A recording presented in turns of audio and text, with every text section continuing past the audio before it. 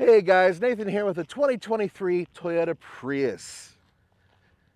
And words that you never expected to hear from anybody. That is a damn fine looking Prius. That's right, because it is. It's been all restyled, and we're going to talk about that a little bit. But the main point of this video is to talk about the fact that you gain a lot with the new Prius, but you do lose a few things, or certain things have been taken away or reduced. So we're going to talk about that in this video. And I have Jeff here to help. That's right. All right, so let's get started. Now, first of all, pretty much all new car based on the TNGA platform. This is different in terms of almost every measurable way compared to the previous Prius. Let me start with the front end. The track is actually two inches wider. That is significant, and that helps for handling. It is also, the car itself is actually an inch wider. The wheelbase is two inches longer, roughly. So longer, lower, by the way, a lot lower, and wider. And unusually, the ground clearance is just slightly higher than the previous Prius. Who would have thought? Now, there are a couple things to keep in mind. They're not going to produce a vehicle like this without adding some form of horsepower, right? I mean, this thing really does look like it could do 200 miles per hour, but it can't. Fortunately, it can really haul compared to the previous vehicle, and I'll show you why once I get this hood open.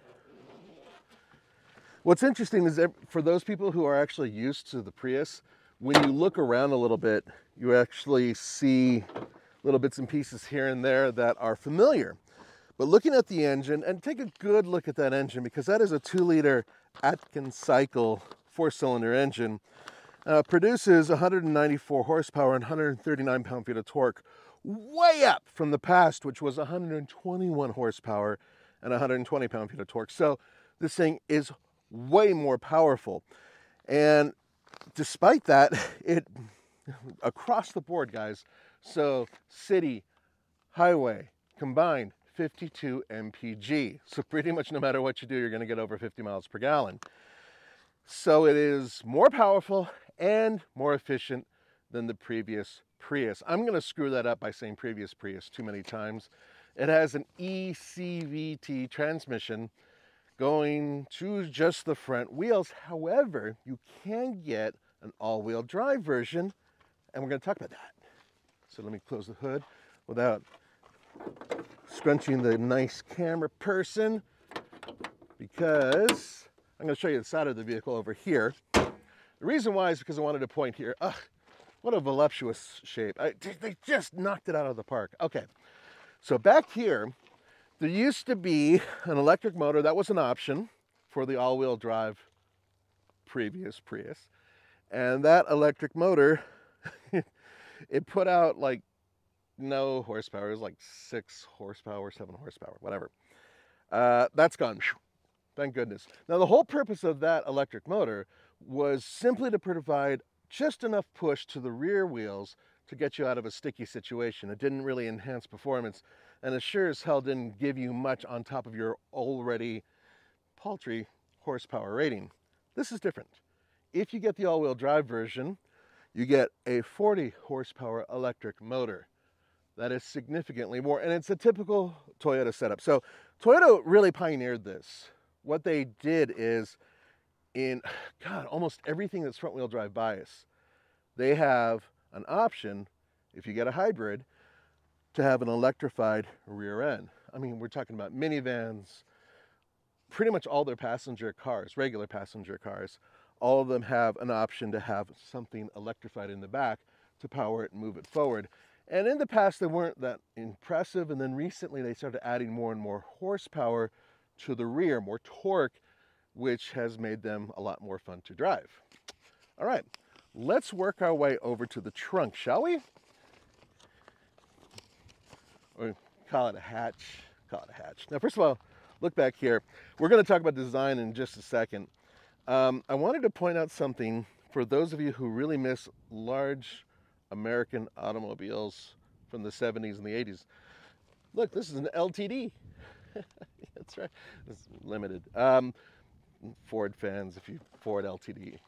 Okay, well, you can look it up on Google. All right, so let's look back here for a second because this is where things start to go sideways. You start to lose things in terms of interior cargo space. This is a lot less. This vehicle has 27 cubic feet back here, and if I put down both seats, 50.4 cubic feet of cargo space.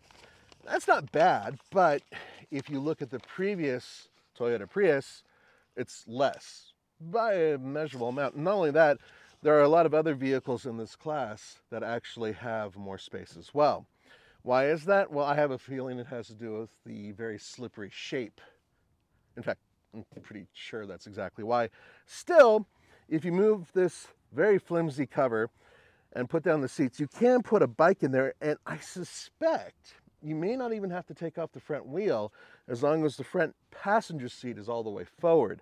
So that's great. Now under here, uh, yeah, you're not going to see much down there other than this foam stuff. By the way, this I know it looks like cheap styrofoam, but it's slightly stronger than that.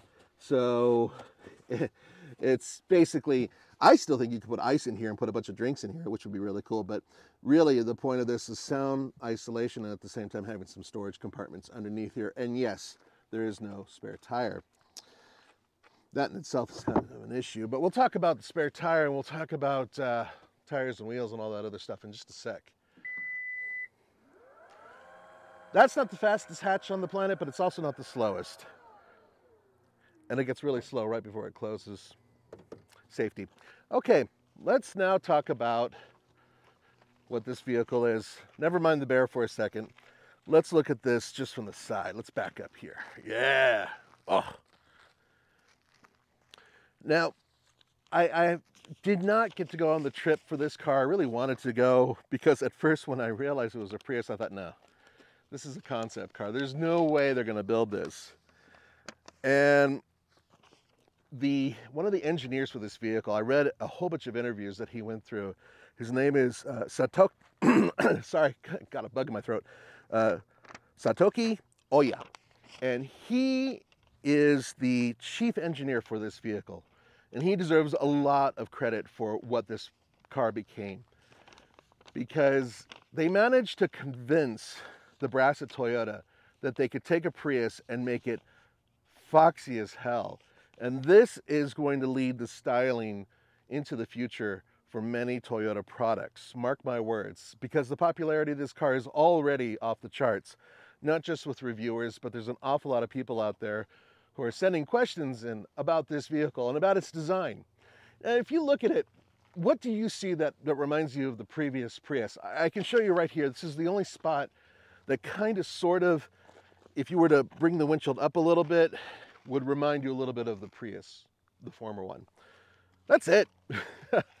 Otherwise, everything else, I already told you, it's wider, it's longer, longer wheelbase. So there's nothing that visually really draws you to it and saying, hmm, that looks just like the old one. Nothing.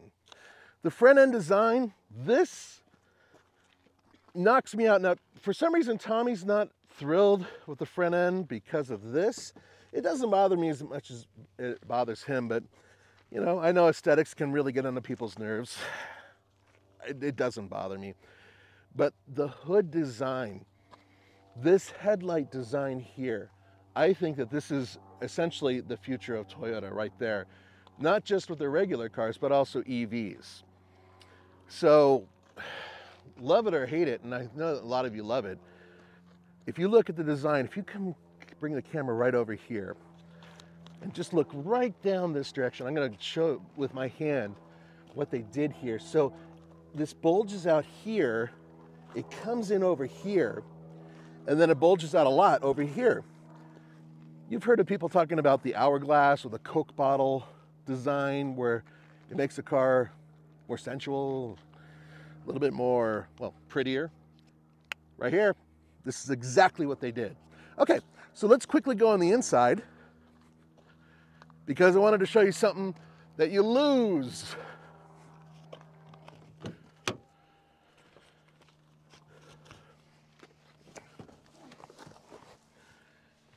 I'm gonna do that again, not because I want to, but because you need to see it. So if you keep the camera right about here, you're gonna see my big butt. Get out. Here I come. Way down limbo. Yeah, that's right. In order to get into this car, if you are a large person or if you're very tall, you're gonna have to go down a lot because it is low to the ground. It's like sports car low to the ground. Let me fire up. Yeah, you're not gonna hear that. Sorry, it's hybrid. But it is gonna make that noise because it's a Toyota and it thinks that you forgot that the doors are wide open. Um, 12.3 inch screen here, very nice. 8 inch screen in front of you, which is great. The location of the two screens makes it a lot easier to drive this car. But for those of you who want a heads up display, you're out of luck. You don't need it because you have this 8 inch screen. Also, you have all these components here, hard buttons, which I love. They're quite nice. And then this whole area here, you know what you lose? Proper USB cables, damn it. This is USB-Cs. I don't like those because I don't have any. So that's one thing you lose. Space in here is pretty good for the driver and the passenger once you lower your head to get in. But here we go. Let's go to the back seat. Now, I want you to think of Jeff, our teddy bear, as a slightly portly young child. I am six foot one. And normally in most cars, Jeff could fit in the back. But, uh, there. He doesn't fit very well back here. Headroom isn't as bad as I thought it would be. Legroom is actually okay to a certain degree. For instance, if I'm sitting back here, if Tommy was sitting back here, you can actually put your feet under the front passenger seat, which is great. But if you lean your head back, his ears nearly touch the top. But this torso, I mean, he's basically like a 10 year old kid in terms of height, or, or a short 10 year old kid, I should say. So a full size adult in the back seat will rub their head. It's another thing you lose because in the previous Prius, you had a lot more backseat room. All right, let's take this thing for a ride. Now, by the way, uh, actually, before we go, you may be wondering, well, it's a nice looking car. Probably really expensive. You know, the base model for one of these things is uh, 27,450. That's not too bad. However, let's say you want to get a car similar to this in terms of gas mileage performance and you wanted it to be a Toyota. Well, guess what? You're in luck because the Toyota Corolla Hybrid is still on sale. And you can get one of those for, geez, 23.5. That base model, you're never going to find one for that price, but a lot less than this. So, okay, what's wrong with getting one of those instead? Well, you lose a little bit of MPG. Those get on average about 50 MPG.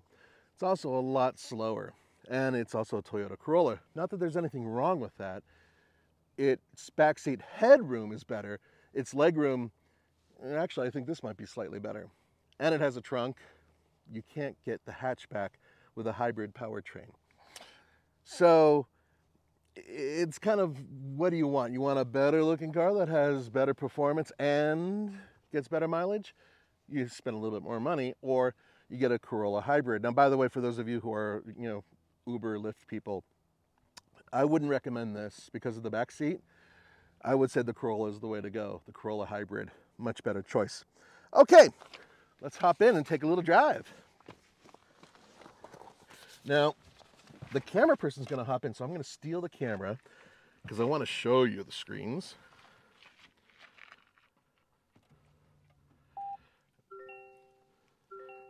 Yeah, that is an eight inch screen right there. I love that. Its location is really cool because if you see the way the steering wheel is set up and its height and this flat area here, most people can easily see over the steering wheel, even those with osteoporosis, like, you know, Roman would probably have to look underneath it like that. But the point is, is that this setup here, very logical. I'm a big fan of it. All right, let's fire up this puppy. All right, it's actually already fired up. no engine noise.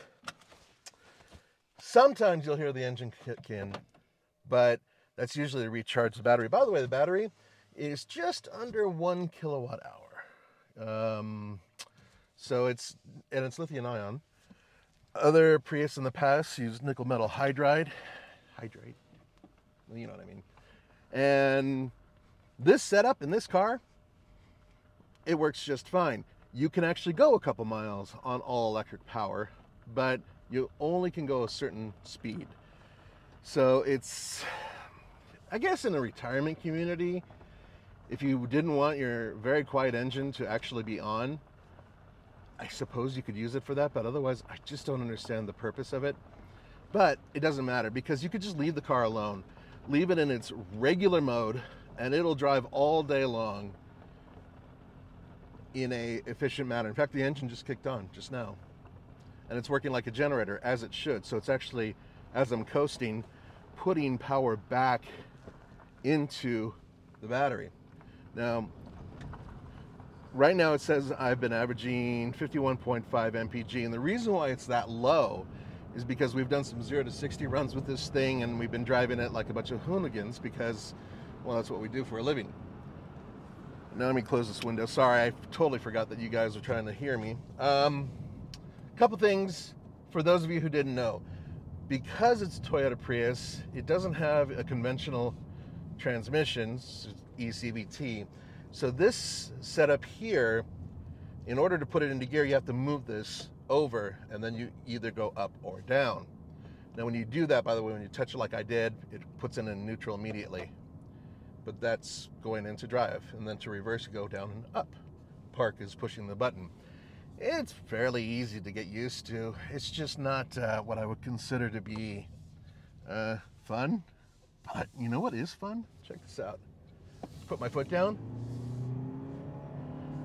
dude, this thing kind of moves. Now remember, we're at high elevation here, and being up high usually saps a lot of the power from an internal combustion engine, even a turbocharged one. But because there is an electric motor that is hooked up to this, sandwiched in there, it does help it make up for some of that power loss. Handling is so much better than before, and that's partially because that wider track I was telling you about. And overall ride comfort has improved as well. As a matter of fact, every measurable aspect of this vehicle in terms of its performance is better. With one exception. If you're tall and you're trying to look out of the windshield, you're going to be looking at this part of the uh, visor. Um, so keep that in mind. You have to sometimes lean your seat way back and that may not work out for some of you in terms of comfort. For me, it works great. Uh, I think Roman fits in here pretty well too, even with his uh, new head of hair. But there are some people that I know in the profession who find this car to be a little uncomfortable for seating. I also wish that the driver and passenger front seats were a little bit wider for large Americans, and there are an awful lot of us in terms of comfort. But I think that kind of encapsulates the whole thing. I really like what they did with this. I'm very proud of Toyota for knocking it out of the park and allowing this car to be built because it just looks like a concept car. It's so cool looking. Yeah, this one has the 19 inch wheels and it's the limited. It is basically top of the line. So we're talking about a vehicle that's creeping up to the $40,000 mark. But you can get one with identical performance for a lot less. By the way, that might be something that some of you don't like. You hear that, in, that drone? That's what happens when you really hammer it. Yeah, but it goes away. That's the good news. So, guys, what do you think? Is this something that you would like to drive? By the way, at 60 plus miles per hour, there is a lot of road noise. And I think that Jeff is kind of uncomfortable back there and he's going to get nauseous if I keep driving this way, so I'm going to take it a little easy. Anyway, let me know what you think in the comments below. I really do think Toyota did a great job. I'll see you guys next time. Ciao.